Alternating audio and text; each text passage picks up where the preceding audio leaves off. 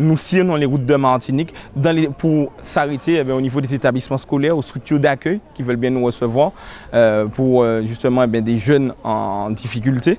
C'est aussi eh les soirées c'est aussi les parades carnavalesques, puisque bientôt nous arrivons, eh dans, enfin nous y sommes déjà justement eh dans, ce, dans ce fort moment de festivité en Martinique. C'est aussi près des plages et près des rivières. Et c'est aussi les réseaux sociaux, puisqu'aujourd'hui nous vivons dans un monde du digital où il faut pouvoir être en mesure de pouvoir répondre à cette demande et toucher au plus proche notre cible. On la reproduit chaque année parce qu'elle a de l'impact justement sur la population, notamment dans les établissements scolaires qui sont plus nombreux chaque année à nous solliciter pour les interventions.